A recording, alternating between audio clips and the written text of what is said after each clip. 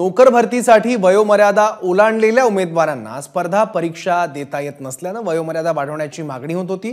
त्याबाबतचा निर्णय घेतल्यानंतर आता एमपीएससी साठी एक वाढीव संधी देण्याचाही निर्णय राज्य सरकारने घेतला आहे पण स्थानिक स्वराज्य संस्थांच्या निवडणुकांची आचारसंहिता अंमलात असल्यानं याबद्दलचा जी आर दहा ते पंधरा डिसेंबर दरम्यान काढण्यात येईल. कोविडमुळे गेल्या दोन वर्षांपासून एमपीएससी आणि सरळ सेवेच्या भरती प्रक्रिया होऊ शकल्या नव्हत्या. त्या पार्श्वभूमीवर हा निर्णय एम पी एस सी परीक्षार्थींना दिलासा देणार आहे. कोरोनामुळं दोन वर्ष एम पी सीच्या परीक्षा घेता आल्या नव्हत्या परंतु विद्यार्थ्यांचं हित पाहून एम पी सीच्या परीक्षा घेण्याचा निर्णय हा शासनाने घेतलेला आहे. एम पी सीच्या परीक्षेसाठी कोरोनामुळे दोन वर्ष परीक्षा झाली नाही.